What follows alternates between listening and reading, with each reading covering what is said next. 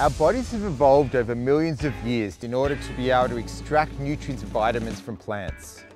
But what happens when you take one of these plants and isolate one or two compounds and dilute it in alcohol or water? The truth is it's not nearly as effective. But this is what an extract is. If you think about it, a mushroom or plant is suspended in alcohol or water for a period of time. The liquid is then sold as an extract.